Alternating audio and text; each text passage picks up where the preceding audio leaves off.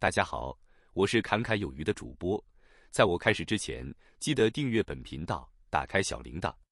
这样我发表新内容时，你才能获得最新的节目通知。人工智慧 AI 晶片带动先进封装需求，市场预期 AI 晶片大厂辉达明年将推出新一代制图晶片架构，加速 CoWoS 封装需求。台湾、韩国、美国、日本。甚至中国等半导体大厂积极布局 2.5D 先进封装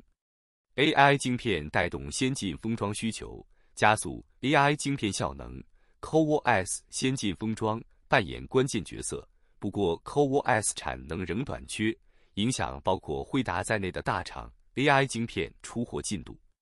天风国际证券分析师顾明基预期，先进封装 CoWoS 供应。在第四季可显著改善，有利未来生产能见度。美系外资法人表示，随着 COOS 产能扩充，辉达 AI 晶片出货量看增，这也反向带动 COOS 产能需求成长。外资评估，辉达 H100 制图晶片 GPU 模组第四季供应量可到八十万至九十万个，较第三季约五十万个增加。预估明年第一季供应量可到一百万个，主要是 COOS 产能持续提升。至于 Coos 产能配置，外资法人评估，辉达可从台积电取得五千片至六千片 Coos 晶圆产量，也将从后段专业委外封测代工 OSAT 厂取得两千至三千片 Coos 产量。市场预期，辉达明年将推出新一代 B 一百制图晶片架构。外资和本土投顾评估，B 一百架构可能采用台积电的四纳米制程，推估采用结合两颗 GPU 晶粒和八颗高频宽记忆体 HBM，因此也将带动 CoWoS 先进封装需求。然而，三纳米作为当前全球最先进的制程工艺，台积电和三星电子的三纳米制程工艺势均已在去年量产。其中，三星电子是在六月三十日开始量产，台积电则是在十二月二十九日开始商业化生产。对于这两大晶片代工商的三纳米制程工艺，此前曾有外媒在报道中提到，三星电子的良品率在今年将超过百分之六十，台积电的良品率在八月份时就已在百分之七十至百分之八十，高于三星电子。但从近日韩国媒体的报道来看，这两大厂商三纳米制程工艺的良品率，目前均还在百分之六十以下，再将良品率提升到百分之六十以上，都遇到了挑战。在报道中提到，此前曾有报道称，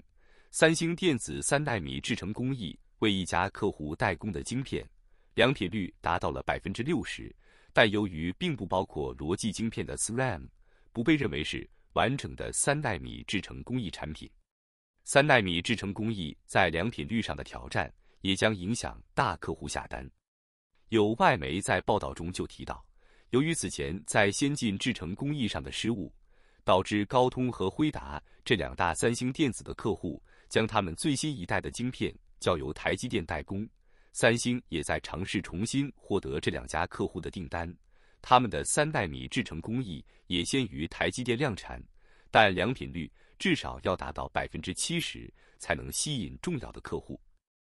而台积电的三纳米制程工艺在近一段时间也成了怀疑的对象。由于苹果新推出的 iPhone 十五 Pro 存在过热问题，部分业内人士开始怀疑代工 A 十七 Pro 晶片的台积电三纳米制程工艺越来越不确定。台积电的这一制程工艺是否已经完全准备好？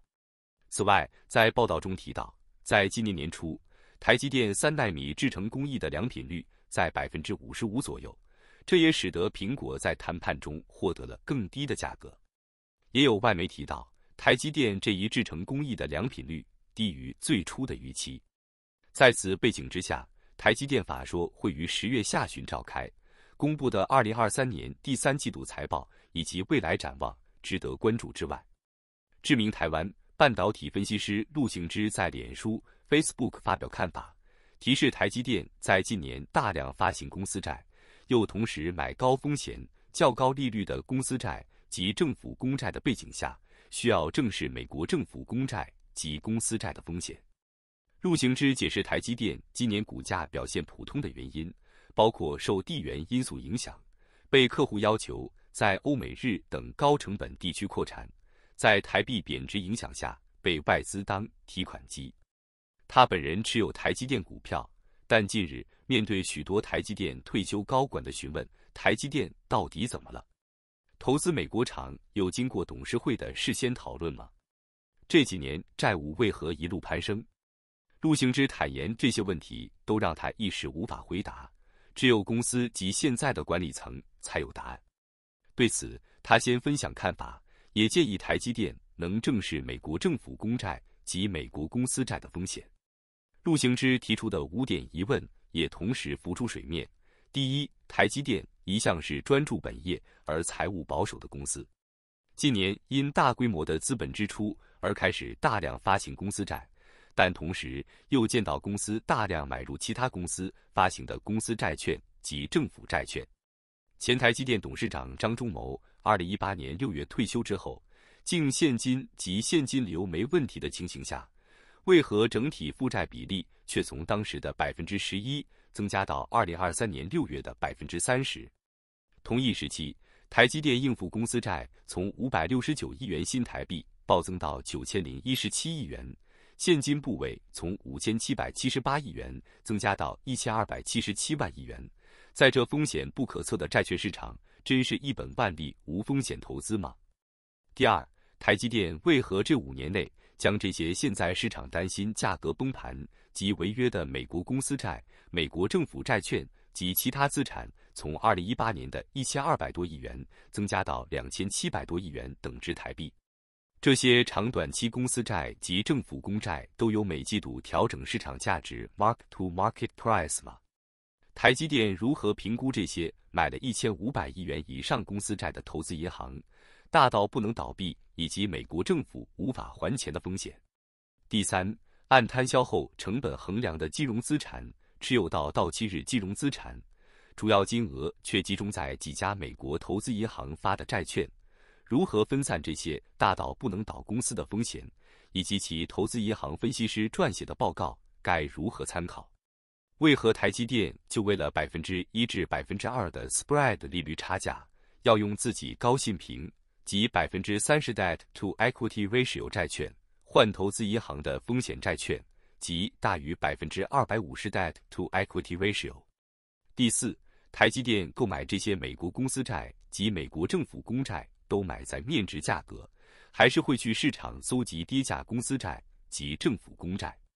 台积电是否也会将自己发行的跌价公司债买回？